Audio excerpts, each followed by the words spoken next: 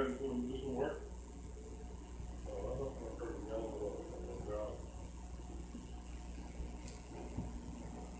I was expecting you with him. Oh.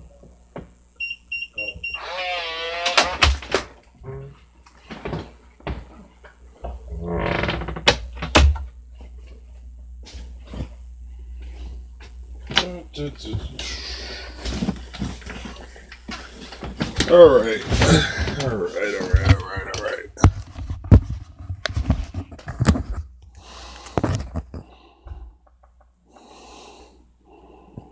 Mic's on. Volume down. All right. Sorry about the delay. Uh, I am here. I had some urgent business I need to take care of, but um, I'm here. So, you guys know what to do.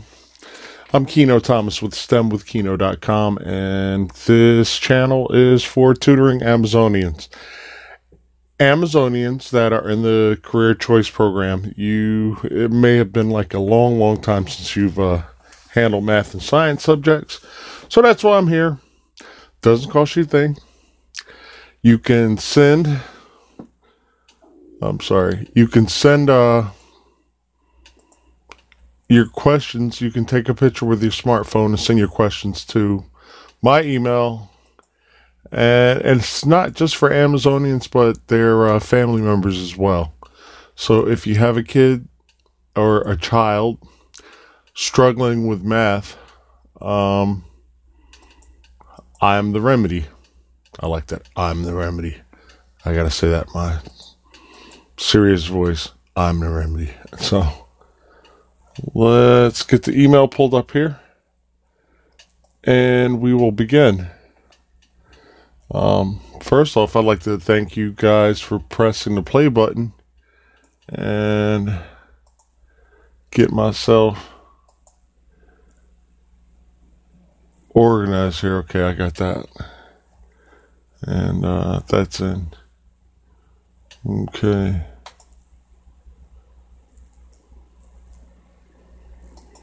All right, got a couple emails there, and I am just uh, I'm coming to the message board now, guys. It's like, well, you just now getting to the message board? Yeah, I'm just now getting to the message board, and I am in. Okay. Looks like Alejandro Gomez. Thanks for coming in. Thanks for pressing that play button. And you, pr- I see the one like, so that's probably you to hit the like button. And I thank you so much for that. Who else is in the room? I'm posting my email now. K I E N O T H O M A S. Hmm. Not uppercase. Maria's in the building. All right.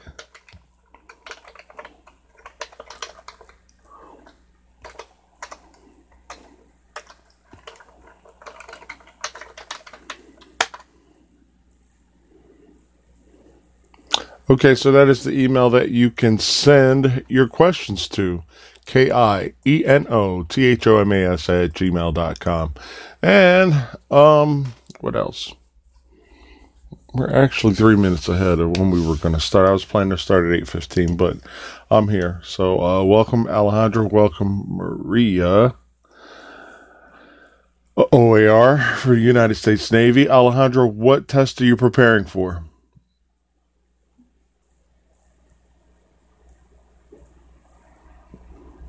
And is my volume sounding ok- okay, guys?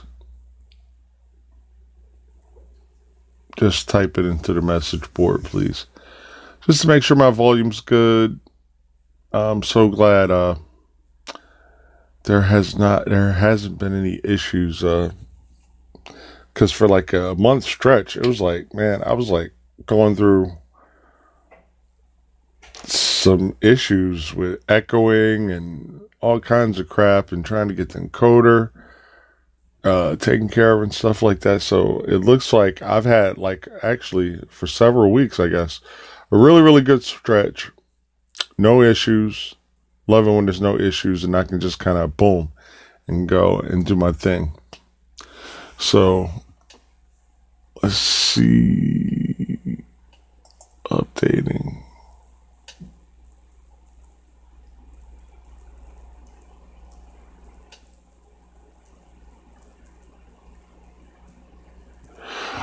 Okay, um, I'll I'll bring up a topic.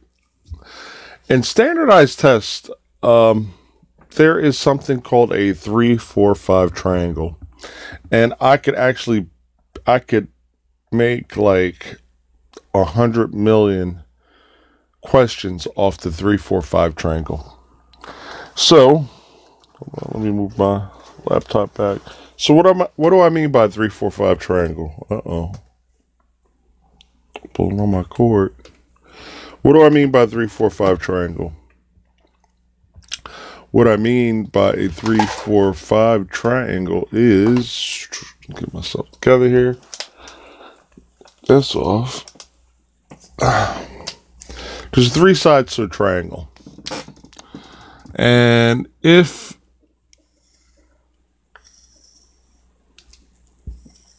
Let me just look at the screen real quick. This is a right angle. Yeah. So if this side is 3 and this side is 4, then this is going to be 5 automatically. That's what I mean by the three, four, five triangle. But I can make so many triangles based off this three, four, five. This could be a six, eight, ten. Uh, it could be a 30, 40, 50. It could be a 300, 400 side, and then the hypotenuse would be 500. So there's there's a lot of variations, and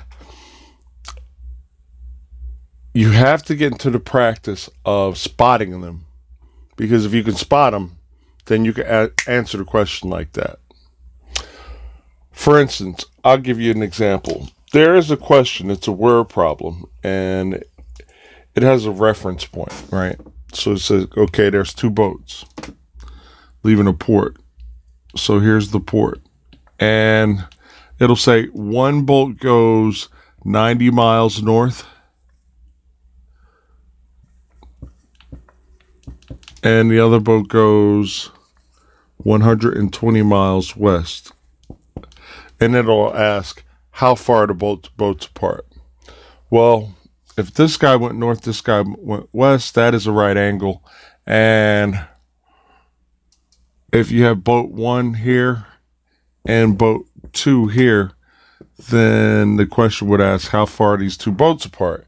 And I see the three, four, five. Here's the three side, and here's the four side. And what I mean by that is if I look at the 90 and the 120.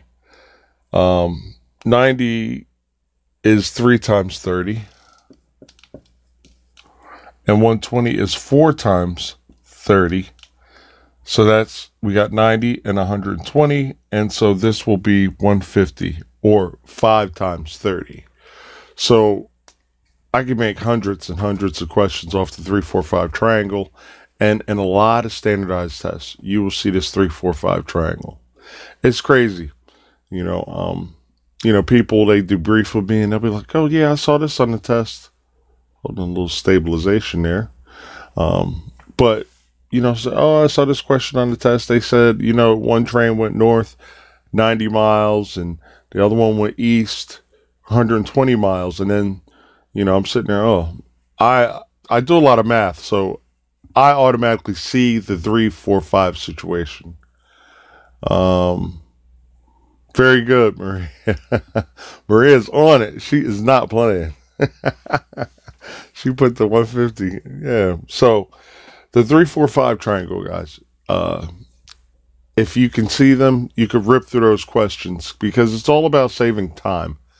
Um, you want to save time.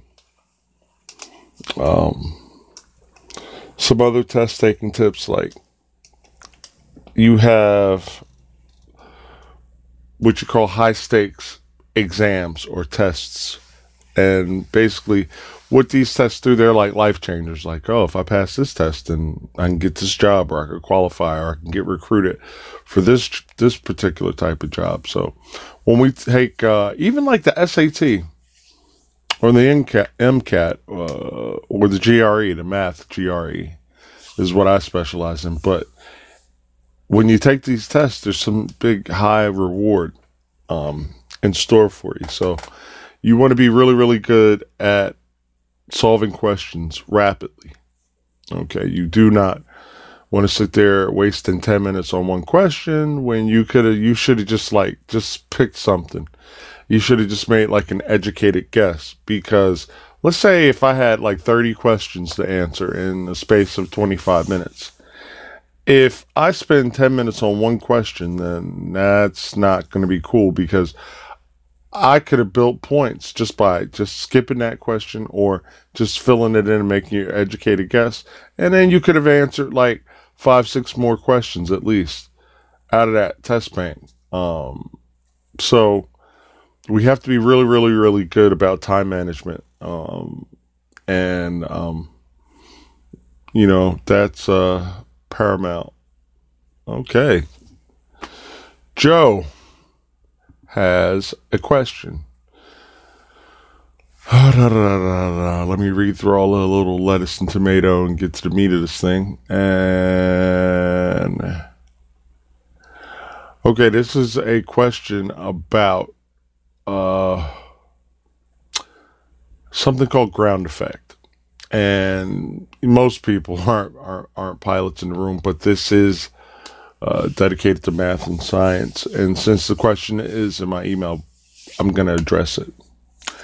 So, the question is about ground effect and how I don't believe it's a cushion of air. I don't believe it's I don't believe it's a cushion of air because it's not a cushion of air.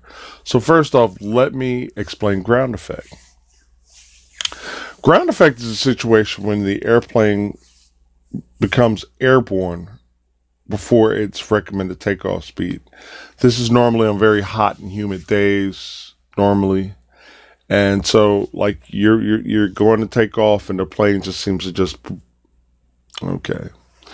Uh, that's one characteristic of ground effect. Another characteristic of ground effect is when you come in for a landing and it just seems like the plane just kind of does some excessive floating. So I can see the bottom of my board, and that's what I'm kind of like looking in reference to, right? So you'll come down, and it'll just seem like boom. Now it will feel like a cushion of air, but it is not a cushion of air, Joe. Um, what is happening is ground effect. So back to the definition: ground effect is the interference of the airflow patterns or actually, it's the interference of the Earth's surface around the uh, wing. It inter- the Earth's surface interferes with the airflow patterns around the wing. Normally, when an airplane is like greater than one wingspan, the wind actually, or the relative wind actually kind of, as this plane cuts through the air, the wind air molecules actually kind of jump up to meet it. And when you are and so you have an upwash and you have a downwash. So basically, when we get near the surface less than one wingspan, we have less air molecules that come up because the ground is there. And so as a result, what happens is uh, we get a reduction in drag. We still have the same amount of lift, the upward force, but then we have less drag. So we just have more lift when we get in the ground effect if you would. Or actually, no, the same amount of lift, less drag. So uh, that's why I say I don't believe it's a cushion of air. Uh, theoretically, it is not. You just lost drag. You have the same amount of lift, you have less drag when you are less than one wingspan within the Earth's surface or the runway landing area. Okay. Next question. All right. All right. How long do you think it takes for proper preparation? Okay. Mark. You didn't even say where you were from, Mark. People, say where you're from. All right. Um, Mark wants to know how much time do I think is uh it looks like he's applying that for everything, you know, the Army, Navy, Air Force, Marines, and stuff like that. And um, I would say you should have at least three months preparation, at least three months. This way, you can work out all the weak areas. You know, if you're being tutored, um, you probably need more if you're doing it on your own, because if you have a proven tutor that has gotten people through these exams, then you probably only need about three months. Now everybody's different. People come from different backgrounds and strength. They have different strengths and weaknesses. So I can't really give you a magic number. I can just say about because you could get to that point and then, you know, uh, and still may and you still may not be ready. But uh, basically, what a tutor will do is help you with your problem solving techniques and make you more efficient um, when you're taking these high stakes tests. And, um, you know, uh, it's really all about about three months, but it depends on the person. Really, it depends on the person, the chemistry uh, between the tutor or test preparer. I say that right? or the person that is helping or assisting uh, that tutoring or teaching uh, session. And it depends on what test as well. I personally believe, hey Avery, how you doing, hon? I personally believe that um Avery popped up. I forgot my my point. Um test preparation.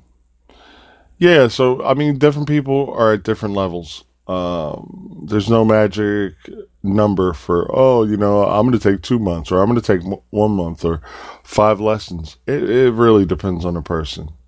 Um, I was talking about factors. Uh, what you know already, uh, your chemistry with your the person helping you prepare for the test.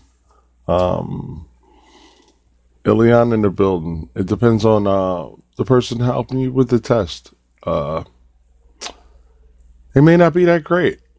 I mean, it's just like your school system situation. There are a lot of teachers that know a lot of things, and they're very good and they're very skilled, but they can't transfer knowledge. That's the thing that I try to master. No matter what your background, where you're from, what you know, I try to be very, very, very good at transferring what I know to you. And if you don't get it, I'm never ever gonna yell and scream like, I can't believe you didn't believe you didn't you didn't know that. I just did it on the board. Sometimes you have to exercise patience. You know, uh, with our school system, you know, it's you know, I have my opinions. I'm I'm not even gonna put them out there. Anybody that's been uh, in in contact with me or dealt with me knows how I feel about the school system, and so uh, you know, uh, it's just you know, it's one of those things. It depends on the person and stuff. And see, next question. Uh oh, Avery is here and she is coming, and Maria is her tag team partner. They're going to pull some questions out. Okay. Um,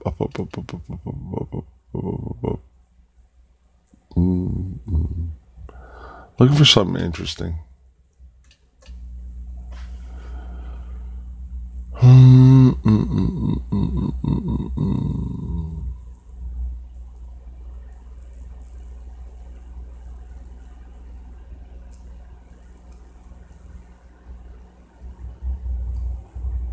is interesting. Why don't I speak? Oh, this must be a teacher. Why don't I speak highly of the public school system? Um, I'm not beating up on the public school system. It does what it can. Um, and I believe like a lot of, of Americans don't really understand. I'll give you I'll give you an example. And I'm not like bashing or attacking any racial racial group. I just, you know, I've done a little bit of research being in this field of teaching, tutoring, um, and here's the thing. A lot of people would be like, okay, well, Asian kids or Indian kids or or or you know these kids are just they're super super smart. And they could have good genetics you know good genetic makeup from their parents primarily. But there's certain things that you're going to have to do to be successful all right? You can't just like i can't take my head and just go like this and by osmosis i'm going to learn everything that I need to know what book is this? Oh, private pilot, ground school. So that's not how we train pilots. We don't just go, oh, and okay, and the knowledge just sinks in. Okay. Uh, as far as our school systems go, I know that a lot of foreigners uh, they keep their kids away from TV. Um, not all, can't say all. I'm not speaking in absolutes, but I've grown up around a lot of foreigners, um, Asians, Indian people. They're good people. They're cool people. You know, they're hard workers and stuff like that. And they just have a work ethic. Like, and I hate to say this, but I don't know. Uh, okay. Americans, we could be lazy. I said it. we could be lazy, you know, and a lot of that's why a lot of foreigners they come over, they kick our butts because you know they come with a mission. You know, um, I think most Americans are a part of that microwave society where, oh, I'm just going to push a button and then, oh, you know, uh, I got a degree or I got a certificate or I have some type of skill. Uh, but uh, they did a they did a uh, poll, and uh, this was years ago. And in this poll, it said that you know, like a lot of foreign kids get about 20, 15 to 20 hours of positive reinforcement, which means I'm going to school. And then after that, after school, to school, I'm putting in an additional 15 to 20 hours. That's 80 hours a month. All right. And you do the math, whatever your school year consists of. But we get really, really good. I mean, all right, I'm not poking fun at anybody, but I've I see a couple people right here in the room. You know, when they started, I don't understand this. I don't understand that. You're only going to get good at math by doing math. Okay. Um, you know, I always say, okay, how do you get out of your bed and go to the bathroom without turning on any lights? You know the territory. It's repetition. You've done it again and again and again. It's just like pilot training. We get in a pattern, we do the same thing, same process, keep it standardized. Okay. Full, all right, clear for takeoff, full power, airspeed alive, engine instrument screen, rotation, which is raising the nose wheel and everything. And the process is the same over and over again. So as a result, your retention is greater and you retain more. So it's just getting in there and just doing it. I mean, I noticed like my freshman year of college. Like, there were people, they just graduated, but they didn't know certain things about math, some of the more basic concepts. And so, you know, you you just have to do the work. There's no there's no getting around it. There's no, oh, I'm gonna tutor with this guy for like two weeks and I'm gonna be ready. Yeah. No, it's not gonna happen. Uh, any website to practice math problems? Oh, you could Google that. You could. I mean, they're all over the place. Maria, what's your question? Did you send one? All right. So yeah, I'm not beating up on the school system. Um, it's just we have to do more. We have to, and that entails what does it entail? Some delayed gratification. Maybe you want to go out, do other stuff, have fun and all that and everything. Just have the discipline to just lock yourself down, crack that book open, whatever the subject is. Because if you read it long enough, you will absorb it. Sometimes you might get frustrated with a certain subject. Read a little bit, put it down. Read a little bit, put it down. But eventually you will get it. You will get it. You know, but uh yeah.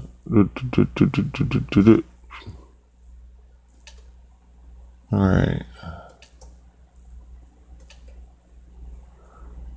Wow, I guess somebody must have brought their book to work.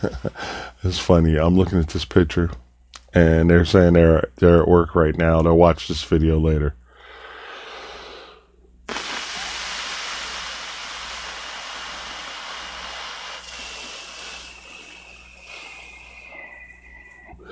May I have answers?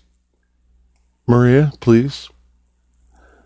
Uh, this is a sucker punch, this question. What I mean by that is it's a little bit of a trick question. I will read it aloud.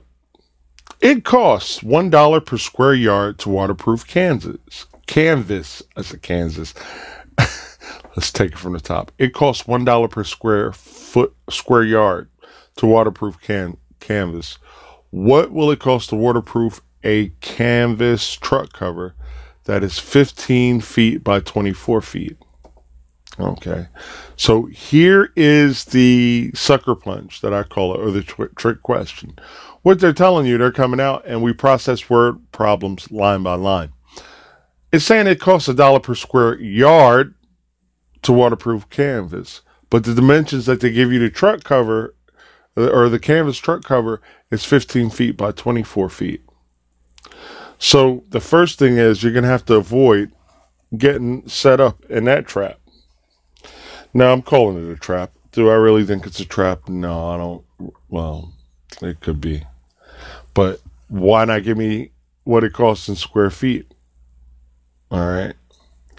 Um so dollar takes one dollar per square yard to waterproof Kansas canvas, fifteen feet by twenty-four feet.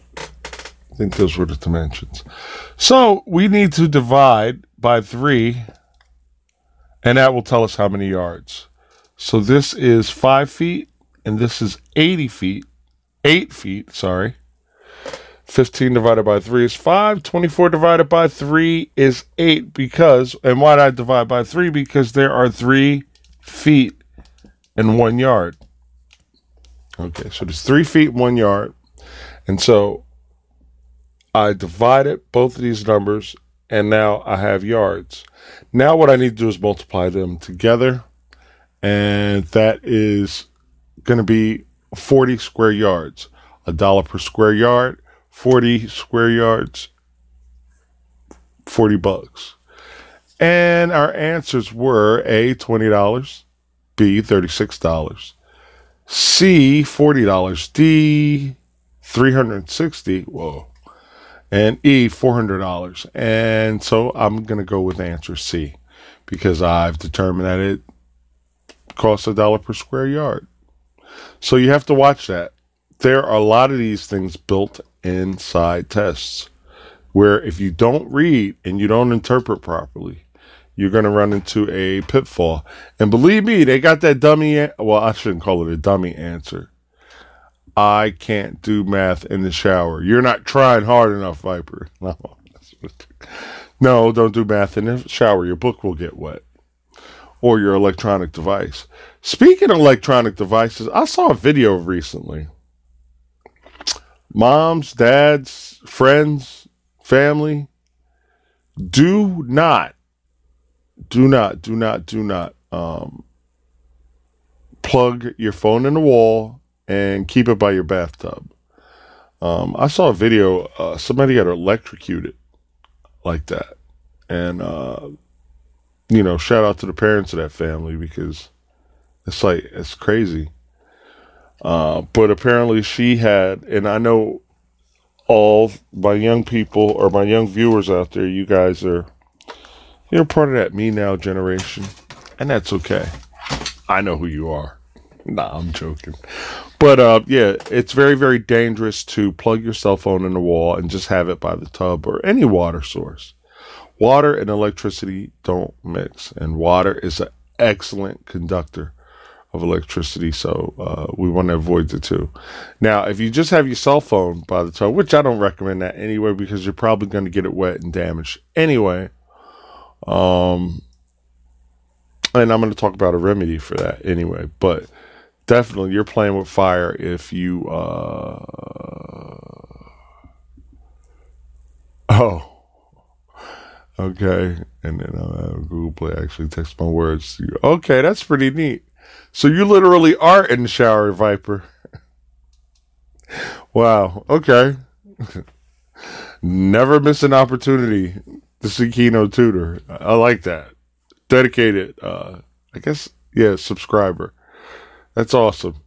You other people don't uh, don't uh, what are, don't Bluetooth me from the shower.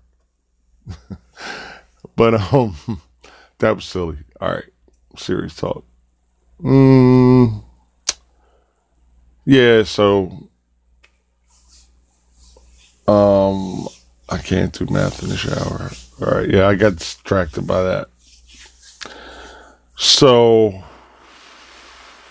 I work in IT for IKEA. All right. Shout out to the I- IT department at IKEA. Very good, Viper. Very good.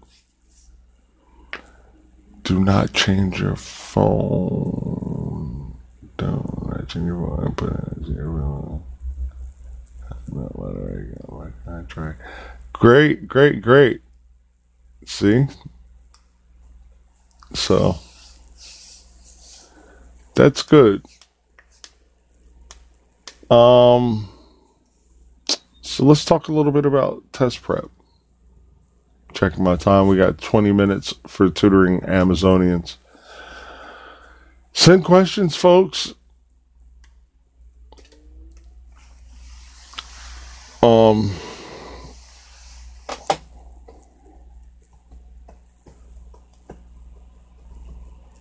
Let me think. Let me think. Let me think. Well, let her rip, Maria. Let her rip. That's what we're here for to solve math problems.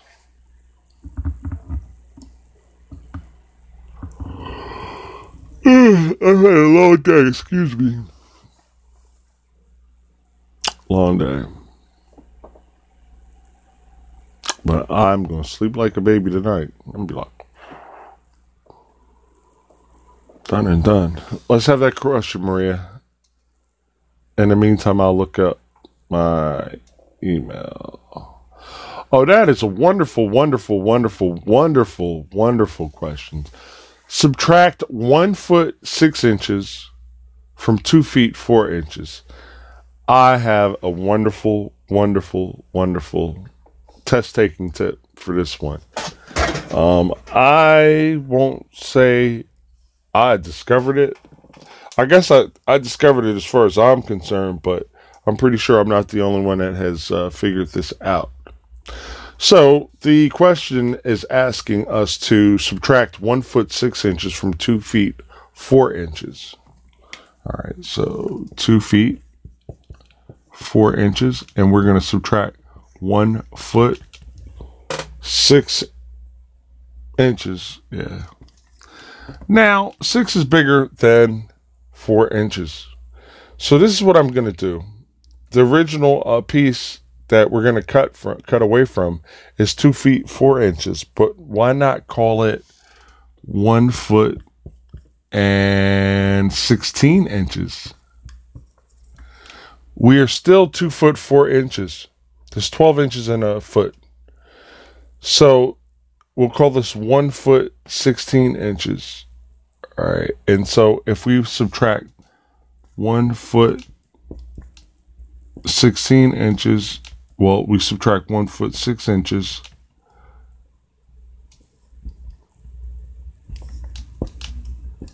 This zeroes out, and that leaves us with 10 inches, folks. So to recap, the only thing I did was I took my one, two feet, four inches, which is 24, 28 inches. And then that's another thing you could have did. You could have just converted everything to inches and then subtracted. But I changed two foot, four inches to one foot and 16 inches. So we have our one of the foots out of the two. We have our second foot out of the two and four inches left over. So when you set it up like this, you can subtract it very, very easily. so, good question, Maria. Good question.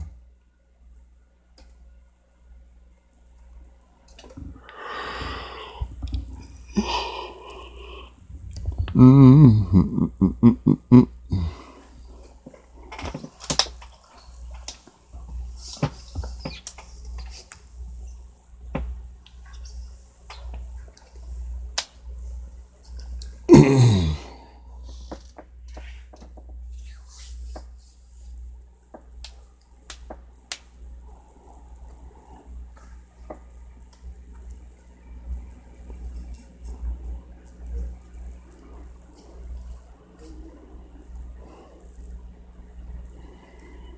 Okay.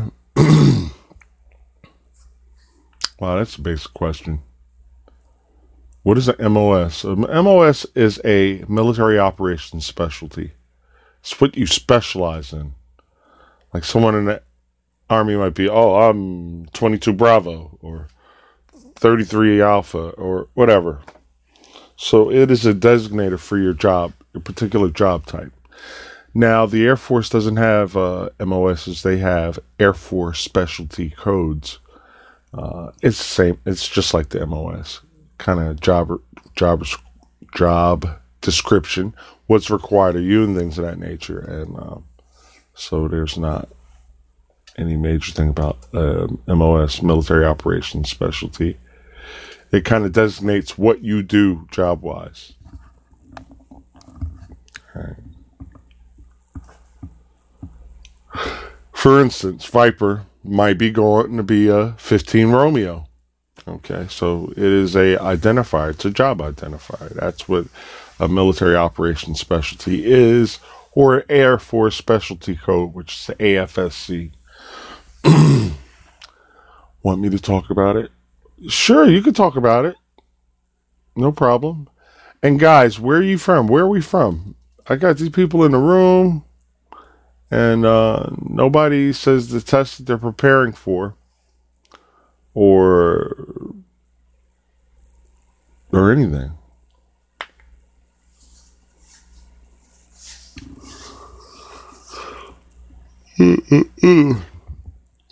and I know there's a time delay. You can talk about it. In the meantime, in between time.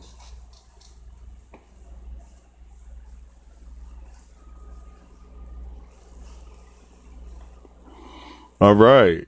Pottstown Limerick. There's a mall out there off of uh what is that road? I don't think it's 522. I know Avery. no yawning. I'm woe out. I'm like my grandma. She didn't say I'm worn out. I'm woe out. That's different. To be worn out and woe out, that's that's two, two totally different things. If you're worn out, you're just a little tired. When you woe out, that's like, what, grandma? Okay. Grandmothers have their own dialect and style of speak.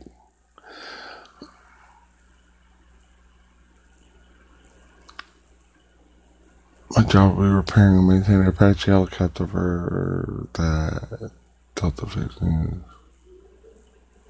Mm-mm-mm-mm. Yeah, another thing too is if the particular job you want in the military, it might not be available because you know, I mean, I, it's an extreme case, but I mean, it could happen. I mean, you know, troops are picked according to the needs of the military.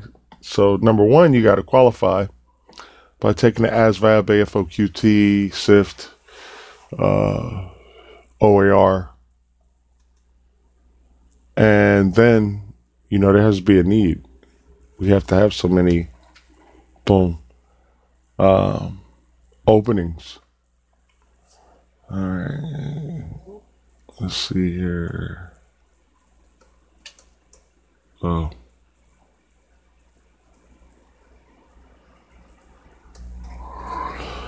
All right, I'm so blah blah blah blah blah. All right, she becoming a crew chief, and then may have a good shot at becoming Alcatraz pilot.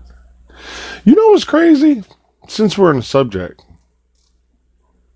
and then I'll end up qualified again. You know what's crazy? Two things I, I think I probably would have done differently. Number one is um aviation maintenance, man, it's like it's it's a hot job. It's the thing to do. And yeah, yeah, yeah, there's a mall. I guess yeah, that is there's an outlet. Actually it's an outlet mall. But I remember going there. I used to have fun there. But uh I keep losing my train of thought. And GT score using their classes and stuff. Hmm. Yeah, 422. So yeah, I lost my train of thought and I forget the name of that outlet, but it's a pretty cool outlet. Nonetheless, it's right kind of if you take that I'm trying to. I can't remember the name of the road, but uh, Pottstown Limerick Airport. We used to fly a pretty important guy out of there, and that runway is so short, man. Round out and flare. Or for a WOCS, uh, let's say I'm eventually helping to qualify for warrant officer candidate school, and, and then go rotary. Okay. Sounds like you got it all planned out. Mm-mm-mm.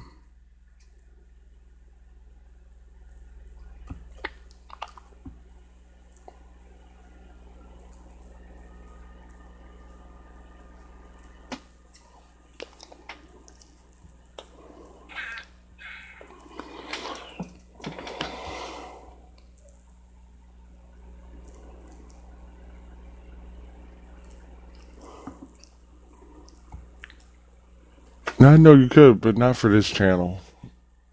Next round, you can. I'm pretty sure Maria and uh, Avery are already working on something. Um, yeah, another thing I could talk about is how to make this benefit you. I mean, I'm here every week. You have questions?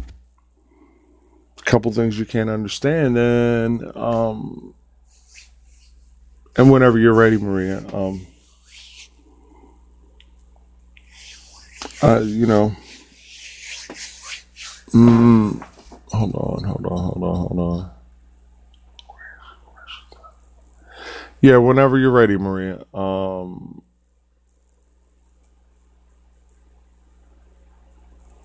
mm. I'm sorry, guys. I'm like, email, distracted. I'm to have to get like an assistant or something. I want to get a green screen. I don't even know how the hell they work, but a green screen would be pretty cool. Mm-hmm.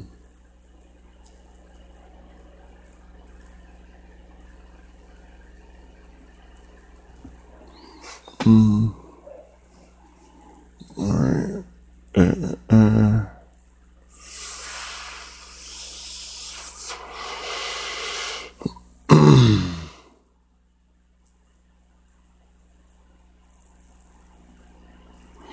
And answers, Maria. We may even hold that one off because we're like in the uh, 53 minute realm. Got about eight minutes. So, yeah, back to I was saying how to make this channel work you get your book, your text, your materials, whatever. Read, just read through through them, and then take a picture. Snap with your phone. Just take a picture, and send it to my email, K I E N O T H O M A S at gmail.com. And I'm telling you, just like, you know, the little live stream hour we do here a week, you keep doing math, you're to get good at it. You're to get really good at it. Um, and a lot of people, oh, you're so smart. I'm, I just like technical things. I've always had kind of like a knack for them. But even if you don't, just repetition will get you through. So.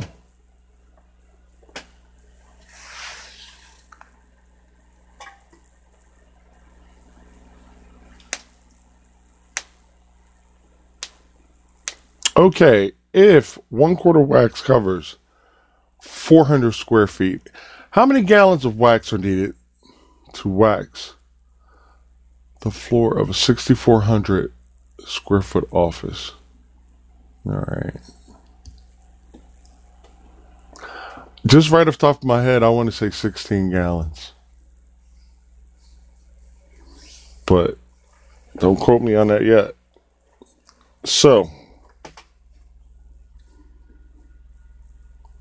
we have a floor. But let's just say, boom. This is 6,400 square feet. Now, one pail of whatever this material is, floor wax. Um, you got 400 square feet.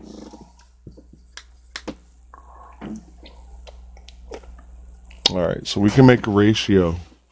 1 to 400 equals 6400 and then x. So basically all we would wind up doing is, and it is 16, 16 gallons. We would divide 60, no, yeah, well, we would cross multiply this or cross multiply this, but we cross multiply this and divide by this guy. So 64, 6400, 6. Now, one thing, uh, oh, ooh. Mm-mm-mm-mm. See what happens when you don't get rest? 400. Now, what we could do is we could chop off two zeros, and then it would be 64 divided by 4 when we kill these, because we'll get the same answer if we whack the same number of zeros. And, uh, mm, 1, 16. Check the back of the book, Maria, and I'll wait. But I know that's the answer. I'm sorry, I was a little arrogant.